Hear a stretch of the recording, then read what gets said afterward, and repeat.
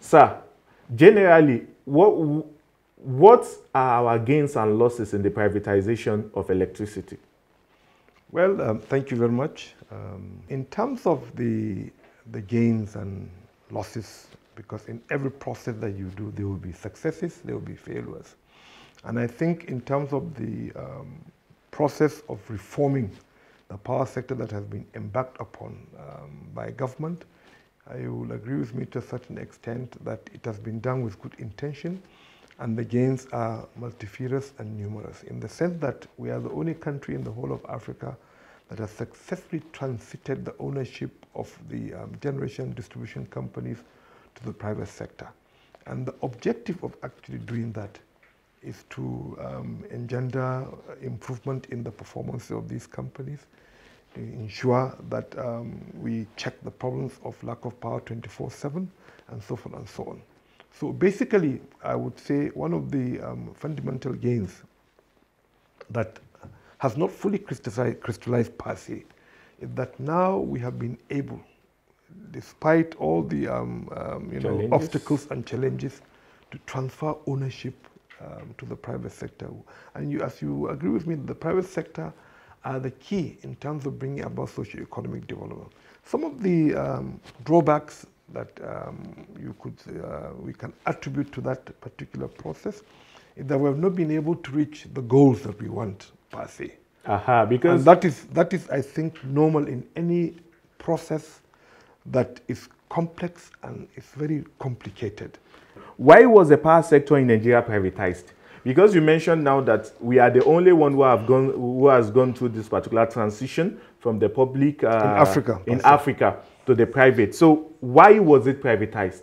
Well, basically, um, if you look at the history of the um, power sector from the interesting history that you have narrated, you'll, you'll discover that at a particular point in terms of the development of that state utility and monopoly, it has reached a cul-de-sac in terms of its ability to deliver to the Nigerian people. And that is one of the fundamental reasons why a decision was taken to privatize the sector. For example, you will discover that as of the 1990s, up to the point of the 1990s, Nigeria was just generating about 1,700 megawatts. The state utility has used the apex of its um, uh, capacity to deliver. In terms of the um, transmission sector, which is also part of the value chain, you find that it was also in a state of disrepair. It had not been able to improve. There hasn't been any major projects in terms of now improving transmission, which is also critical to the sector. In terms of the distribution sector, you discover that the um, um, challenges are mounting. It's something that it can be experienced, the daily experience of people whereby brownouts, that is blackouts of the daily um, uh, occurrences in, in, the country and so forth and so on. So from the time that um, the um, civilian government came in came in into power at, at a certain point, they now decided that, look, one of the strategies that should be adapted is to now reform that particular sector. And they set up a committee that came out with a policy document in 2001. And in that policy document, it recommended that, look, let us set up a regulatory regime, let us unbundle the sector and eventually privatize it. And that is exactly what was done in terms of setting up, for instance, the regulator in 2005 and we eventually succeeded in privatizing the um, company between 2012 and 2013. That basically, to me, is the reason. Improve power, improve, improve the performance of the power sector. So still, it's still a matter of goals, objective, intentions also now? Well, not really, because if you look at it critically, and that is what a lot of people don't know, if not because of the privatization of the generation segment of the sector, maybe the amount of power generated now would be lower than what you expected. But I think the, the and, and let me illustrate. Let me please illustrate in terms of the taking the generation sector of the country. We we privatize six generation companies.